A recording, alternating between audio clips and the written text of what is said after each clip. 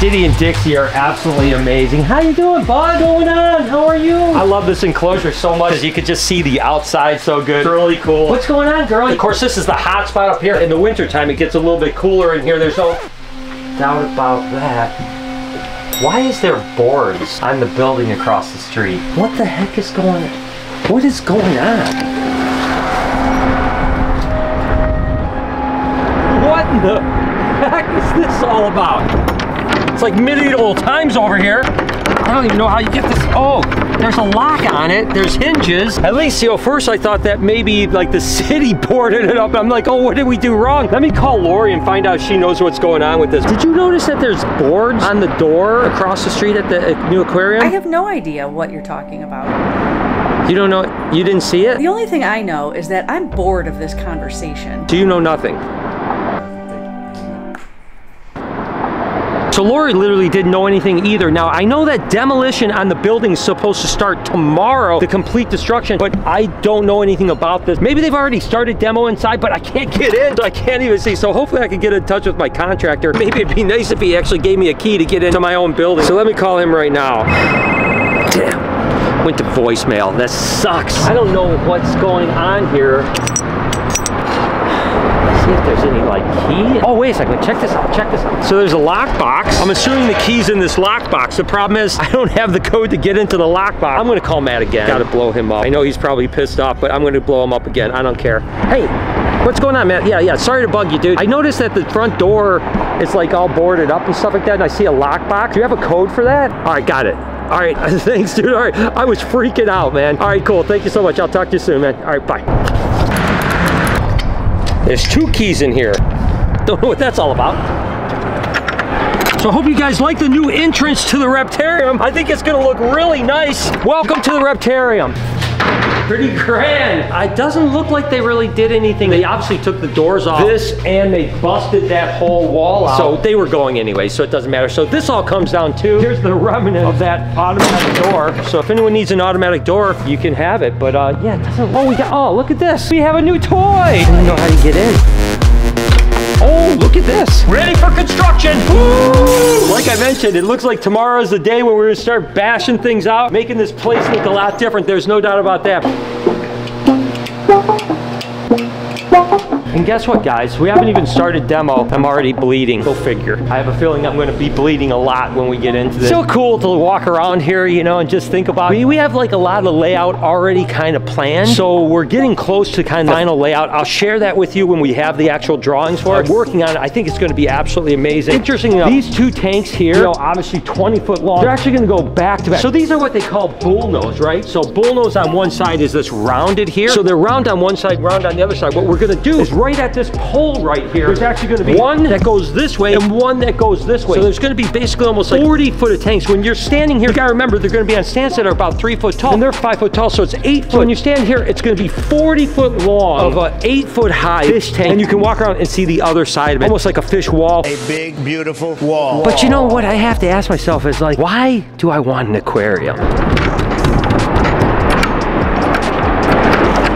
It back up. So I guess the reason why I'm obsessed with aquariums is that that's where my love of reptiles started. Belle Isle Aquarium down in Detroit when I was just a little tiny kid. I went to and they had a ball python on display and I absolutely fell in love with reptiles from that moment on. And I guess I'll be honest with you, I really didn't realize it, but I've been obsessed with fish ever since too. I certainly have been going to a lot of aquariums lately because I absolutely have rekindled my love of aquariums. And this is the other local aquarium that's in the Detroit area. It's really a cool place. And I always say that I'm not trying to hurt this business at all because it's just a different experience, right? When you come to most aquariums like this, that is absolutely gorgeous, really good, well done. There's just not a lot of like things to do other than to look at aquariums where we're definitely gonna have a tremendous amount of experience that can keep you occupied for hours and hours. And coming to places like this and all the places I've traveled all over the country to aquariums over the last six, eight months gives me ideas, things that I like and things that I don't potentially like. I really like this.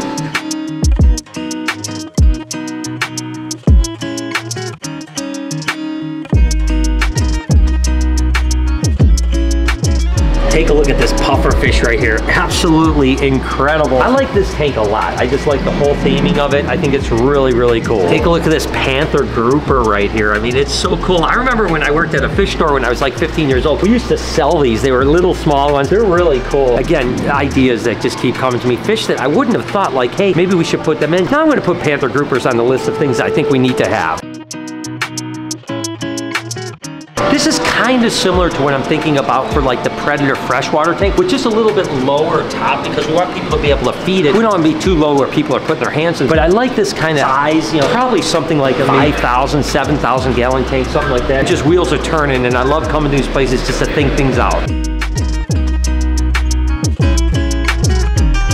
Interesting as we've been designing the aquarium is like whether you do these like little areas that are kind of like small rooms with enclosures in it, or do you have some areas that are big that seem more expansive. It's really difficult because a lot of aquariums do this where it's kind of like a path that you walk through and you don't really ever get this like grand area. I'm kind of thinking we may want to do at least a couple areas that are really wide open so it feels a little bit bigger. Instead of having like little room, little room, little room, little room. I don't know, you know, again, keep on going back and forth. Let me know in the comments when you go to a place like this, how do you feel? Do you like it when it's kind of guided through little areas with just a few exhibits in it? Or do you like it when you walk into a room and there's like tons of big spaces? It's really six of one, a half dozen the other. And we're still not quite sure which way we're gonna go. If I come up and I fall off, that's on me. If I fold and I sell out, that's weak. That's why I take my time before I make my mind. Looks like Lori's been here. The ray tank that we're gonna make is gonna be similar size to this. It's just gonna be a little bit different because obviously it's awesome to look at, but you're not able to feed them, you're not able to interact with them or anything like that. So of course, you know, the similar size to this, but the difference is, is that, you know, there'll be straight walls and of course you can get in and swim with them, you can feed them, pet them and stuff like that. The interactive side is just gonna be good. But I do like this exhibit a lot. It's just that, you know, I like the interaction part a lot more. I love cylinder tanks. There's just something that's just so awesome about them. We're gonna have a lot of cylinders. This is actually a six foot cylinder. We're gonna have some eight foot cylinders. Obviously a 25 foot cylinder for sharks. Just cool, man. I tell you, it's just, I get, oh, I am so excited, guys feel like you did it just to obtain your goals. Oh yeah, it's good when you get it, but it don't last that long. These little guys down here that are poking out are called garden eels, and I don't know why. I love them. There's a couple more over here poking out. Every time I see garden eels, I get excited, probably because they remind me of little snakes or something like that. Definitely gonna have a bunch of garden eels. There's no doubt about that. And I do this like seven days out of the week. Black tip reef sharks, one of my favorite fish. I love them to death. So we're definitely gonna have black tip reef shark tank. This enclosure here is probably the coolest thing at Sea Life. There's no doubt about that. Not probably, it definitely is. This is just one viewing panel of about five viewing panels. This is amazing. Unfortunately, we're not gonna have something this big because it's ridiculous. As a matter of fact, I gotta show you the tunnel, something I'm definitely gonna strive for in the future. So this is the tunnel I was telling you about. This is just an absolutely gorgeous tank. I mean, you can see on this side, this side, there's a bunch of different viewing panel. But this is something that unfortunately we just aren't going to be able to do. This tank probably costs over a million dollars just for this one tank. More importantly, it takes up so much space. Definitely in the future when I do a bigger aquarium, which is something I hope I can do. This is something I'm striving for is a, a big tunnel like this. Got a big nurse shark up here, like I said, blackguard shark. Got giant groupers, got rays in here. There's just so many fish. It's absolutely incredible. There's no doubt about it. Bat rays, clown nose rays. I mean, these guys are amazing. Yeah, you know, I can't do everything the first time, but this is definitely something to strive for in the future. I had to earn my stripes, so I don't have to work no nine. Like I said, I get ideas from places, and you can actually change the color of the jelly with this these buttons here, which is really simple. These are just LEDs that change color. You just have the color switch here, so definitely I'm going to do this, and we're actually going to do a big, like probably six foot cylinder, eight foot tall of jelly, so it's going to be really, really cool. And then you'll have the opportunity to change the color. I think it's going to be awesome. I was feeling rich, but we turned out broke.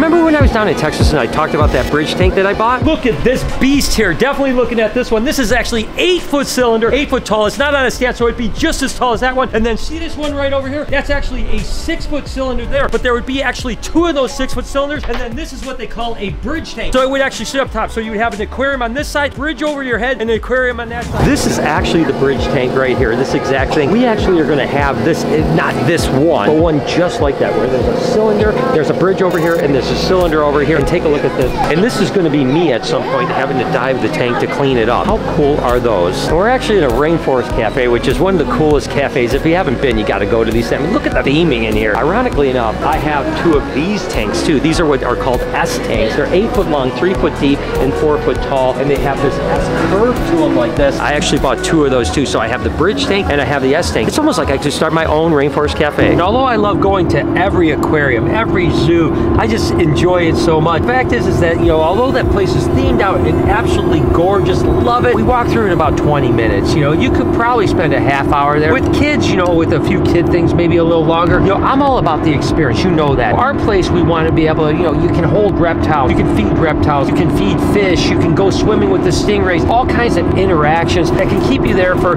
two, three hours, and then you even want to come back for more. So when I go to places like this, I love it to death, and I get so much inspiration from it. At the same time, I want to be able to have such a higher level of experience than places like that, because like I said, $27, and we spent 20 minutes, and we had seen every single thing. And this is like the fourth time I've been there in six months, and I've enjoyed every single time, but literally I typically spend 20, maybe 25 minutes there. And that's the only bummer to the more traditional aquariums and even the more traditional zoos. One of the enclosures that we're gonna basically almost duplicate across the street just because I love it so much. This enclosure will stay here with Ariana and then Verde will actually come over to here. The only difference is, is that this will be a little bit more extended out. So I want more water area. So we'll probably have like this flat area come out to like here before we get into that octagon thing so that there's just that much more water space. So instead of maybe 200, 250 gallons, we'll have something more like four, 500 gallons for Ivy. And look at Ariana actually shed out. She's absolutely looking beautiful back there and she's growing like a weed. And of course, Ivy is in shed right now. So she'll be shedding out here in another maybe four or five days. I love Anaconda so much. So this is definitely going to be one of the focal points when you walk in the Reptarium across the street. The hard part is really the planning part. It's the part that's driving me crazy. When we did the Reptarium, you know, we didn't exactly know what we were doing either. We knew we wanted cages over here, but I remember even like the center aisle, we didn't have that really planned. We kind of just went on the cuff and just started to do things. And it's really difficult until you know what you're doing. Now it's a little bit of a different situation. We need to know where everything goes because it's a much different build than obviously the Reptarium And that's the part that's so frustrating. I just want to get going, guys. I want to go. Yeah, the demo is going to be great and the front facade is going to be great. But once we have the planning made out where every single enclosure, every single tank is, then that's when the fun begins. Then you start to see it come to life. But we're nowhere near that at this point. We still have probably another month and a half or two months of planning before we get to a point where we really know what is going on. It's driving me absolutely out of my mind. For now, I guess I just have to stare at my aquarium down here and my beautiful fish. And the thing about aquariums and the setup across the street is that it's really permanent. With you can move the cages around. You can redo things. Once you set an aquarium, because the piping is literally in the ground, cemented into the ground, you can't move it. You can't do anything. It is there. The planning phase is so crucial to make sure that you know where every single aquarium is going to be so that you can do all the plumbing and piping and setting everything. So I can't wait till this part is over and we can just start rocking. Hope you guys enjoyed today's video. If you did, there's a playlist that you can watch all kinds of videos. You can also hit that subscription button. It would mean a lot to me. Also, hit that like button while you're down there. Have a wonderful day, Reptile Army. Remember, be kind to someone, and I promise, ready for construction. Woo!